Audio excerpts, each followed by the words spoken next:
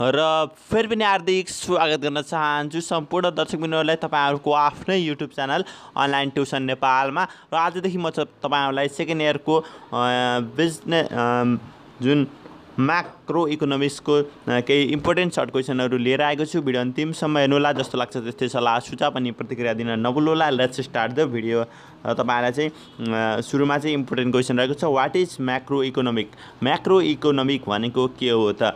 राष्ट्रिय आय रोजगार मुद्रा मूल्य स्तर आर्थिक वृद्धि दर जस्ता समग्र आर्थिक क्रियाकलापको अध्ययन गर्ने अर्थशास्त्रको शाखालाई वृहत अर्थशास्त्र भनेर भनिन्छ र point out the scope of micro economic यो तपाईँले यो हेर्नुहोला यसलाई फौज गरेर टिप्नु होला जुन एउटा राष्ट्रिय आय रोजगार मुद् मुद्रा मूल्य स्तर आर्थिक वृद्धि दर जस्ता समग्र आर्थिक तत्त्वहरूको चाहिँ क्रियाकलापहरूको चाहिँ अध्ययन गर्ने अर्थशास्त्रको शाखालाई समिष्ट अर्थशास्त्र अथवा वृहत अर्थशास्त्र भनेर भनिन्छ।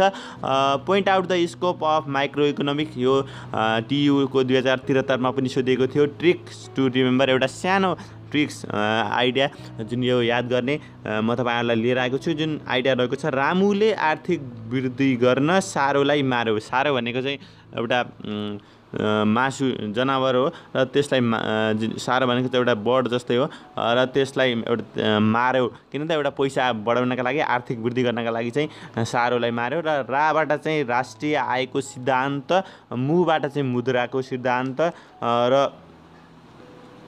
आबाट चाहिँ रामुले के त आर्थिक वृद्धि गर्न आर्थिक वृद्धिको सिद्धान्त र सारोलाई मार भनेको थियो। साबाट सामान्य मूल्य स्तरको सिद्धान्त र रोबाट रोजगारको सिद्धान्त। तपाईँले यसरी पढ्नुभयो भने तपाईँले पढेका पोइन्ट सम्झन सजिलैसँग सक्नुहुन्छ। अब point out the scope of micro economic भनेर भनिहाल्यो भने चाहिँ तपाईँले चाहिँ रामुले के त सारोलाई मार्यो। के त आर्थिक वृद्धि गर्नका लागि? राबाट राष्ट्रिय आयको सिद्धान्त मुबाट मुद्राको सिद्धान्त आर्थिक वृद्धि गर्न भनेपछि आर्थिक वृद्धिको सिद्धान्त अनि साबाट चाहिँ जुन एउटा सामान्य मूल्य स्तरको सिद्धान्त र रोबाट रोजगारको सिद्धान्त यो तपाईँले यसरी पढ्नुभयो भने तपाईँले एक्जाम टाइममा सजिलैसँग जुन सम्झन सक्नुहुन्छ हाम्रो एउटा कमजोरी पनि हुन्छ हामीले पढेको कुरालाई चाहिँ एक्जाममा लेख्ने बेलामा चाहिँ भुल्ने जुन एउटा सबैको कमजोरी हुन्छ र तपाईँले त्यो कमजोरीलाई यसरी मेटाउन सक्नुहुन्छ र why micro economic is call lumping method micro इकोनोमिकलाई lumping method भनेर किन भनिन्छ त?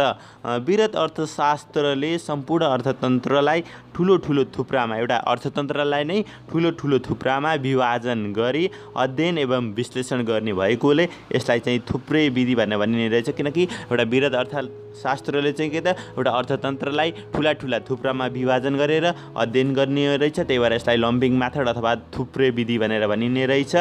List out the important of macro economics यो चाहिँ टियु टु थाउजन्ड सेभेन्टी फोरमा सोधिएको थियो। ट्रिक्स टु रिमेम्बर एउटा सर्ट ट्रिक्स लिएर आएको छु। जुन एउटा आर्थिक वृद्धि गर्न अन्तर्राष्ट्रिय अर्थतन्त्र बुझ्नुपर्छ।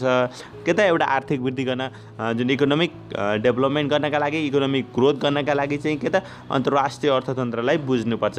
र सुरुको आर्थिक वृद्धिबाट चाहिँ आर्थिकबाट चाहिँ आर्थिक नीति बनाउन सहयोगी आर्थिक उतार चढाव नियन्त्रण गर्न सहयोगी के त आर्थिक वृद्धि गर्न म भनेको थिएँ मैले। अन्तर्राष्ट्रिय अर्थतन्त्र बुझ्नुपर्छ भनेको थिएँ फर्मुलामा र अन्तर्राष्ट्रियबाट अन्तर्राष्ट्रिय तुलना गर्न सहयोगी अर्थतन्त्रबाट अर्थतन्त्रको कार्य बुझ्न सहयोगी र अर्थतन्त्रको एउटा कुशलता मूल्याङ्कन गर्न सहयोगी यहाँ फर्मुला हेर्नुहोस् ल हेर्नु होला आर्थिक वृद्धि गर्न के त अन्तर्राष्ट्रिय अर्थतन्त्र बुझ्नुपर्छ। सुरुको आर्थिक वृद्धिबाट चाहिँ जुन आर्थिकबाट चाहिँ आर्थिक नीति बनाउन सहयोगी आर्थिक उतार चढाव उतार चढाव नियन्त्रण गर्न सहयोगी अन्तर्राष्ट्रिय तुलना गर्न सहयोगी अर्थतन्त्रको कार्य बुझ्न सहयोगी अर्थतन्त्रको कुशलता मूल्याङ्कन गर्न सहयोगी तपाईँ यसरी फर्मुला बनाएर पढ्नुभयो भने सजिलैसँग याद गर्न सक्नुहुन्छ। र टियु टु थाउजन्ड सेभेन्टी टूमा सोधेको थियो एउटा क्वेसन डिफाइन माइक्रो डाइनामिक भनेर। र एउटा सन्तुलन बिन्दुबाट के त एउटा सन्तुलन बिन्दुबाट अर्को सन्तुलन बिन्दुमा स्थानान्तरण हुने बाटाहरू के त एउटा सन्तुलन बिन्दुबाट अर्को सन्तुलन बिन्दुमा स्थानान्तरण हुने बाटाहरू र प्रक्रियाको अध्ययन एवं विश्लेषणलाई समिष्ट गतिशील भनेर भनिन्छ के त। एउटा एउटा सन्तुलन बिन्दुबाट अर्को सन्तुलन बिन्दुमा एउटा ट्रान्सफर्म हुने स्थानान्तरण हुने एउटा बाटोहरू र प्रक्रियाको अध्ययन विश्लेषणलाई चाहिँ समिष्ट गतिशील भनेर भनिने रहेछ। Why micro economic is also call the theory of income and employment समिष्ट अर्थशास्त्र अर्थलाई किन रोजगारीको र आयको सिद्धान्त भनिन्छ त? समष्टि अर्थशास्त्रले आधारभूत रूपमा राष्ट्रिय आय र रोजगारीको निर्धारणमा आफ्नो अध्ययनलाई केन्द्रित गर्ने भएकोले यसलाई आम्दानी र रोजगारको सिद्धान्त भनिन्छ। के त एउटा समष्टि अर्थशास्त्रले जुन आफ्नो अध्ययनलाई चाहिँ एउटा रोजगार र राष्ट्रिय आयको चाहिँ एउटा अध्ययन गर्ने हुने हुनाले चाहिँ यसलाई चाहिँ एउटा आम्दानी र रोजगारको सिद्धान्त पनि भनेर भनिने रहेछ। भिडियो कस्तो लाग्यो जस्तो लाग्यो त्यस्तै सल्लाह सुझाव पनि प्रतिक्रिया दिन नभुल्नुहोला। साथै भिडियोलाई आफ्ना साथीभाइहरूसँग सेयर गर्न नभुल्नुहोला। Thanks for watching